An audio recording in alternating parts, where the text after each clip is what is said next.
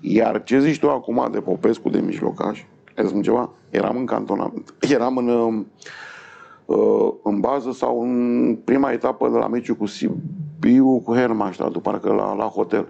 Și el uh, venise, venise și el, că era în, cu echipa. Și stăteam de vorbă cu el seara, că nu era în lot, dar făcea parte din, din A făcut lotul de, de Ergit. plasare, da. da.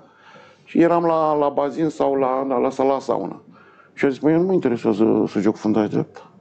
Mă zic, acolo e cea mai frumoasă Cel mai poziție, ușor că s-ar putea să, E să mai intri. pe liniște. Da. Nu mă interesează. Eu vreau să joc mijlocaș.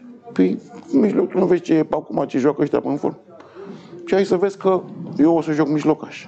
Dar vezi nu ceva, cum se pregătește și cum are grijă de el. Și i-a ieșit și golul, i-a ieșit și golul, dar vezi nu ceva, n-ai cum să nu-l bagi.